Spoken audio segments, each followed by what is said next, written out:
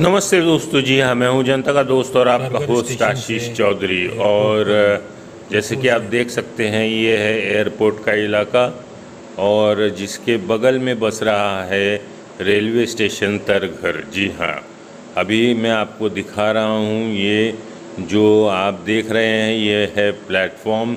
अत्याधुनिक सुविधाओं के साथ ऐसा आज से दो तीन साल पहले सिडको ने कहा था। तब भी काम चल रहा था, आज भी काम चल रहा है। काम बड़ी ही स्लो तरीके से चल रहा है।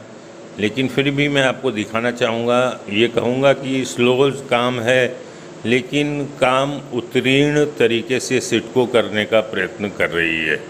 जी हाँ ये स्टेशन होगा एयरपोर्ट पर आने वाले उन लोगों के लिए जो यहाँ से सीधा ट्रैवल करना चाहेंगे मुंबई की तरफ़ या फिर पनवेल साइड की तरफ़, या क्योंकि यहाँ से तो ट्रेन जो है वो सीएसटी तक चलने वाली है। जी हाँ ऐसा अंदाज़ा लगाया जा रहा है। हालाँकि उड़न का ट्रायल हो चुका है, लेकिन अभी तक उड़न की ट्रेन चली नहीं है। अब देखते हैं यहाँ से। ये जो आप भाग देख रहे हैं, ये टूवर्ड्स जा रहा है नेरुल की तरफ़ या बेलापुर की तरफ़ आप कह सकते हैं।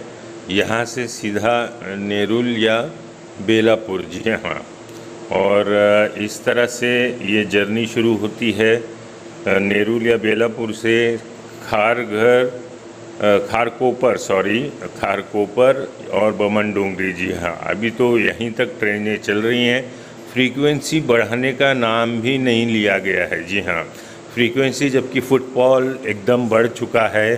फुटबॉल बहुत ज़्यादा हो गया है। लेकिन फ्रीक्वेंसी है कि बढ़ने का नाम नहीं ले रही है।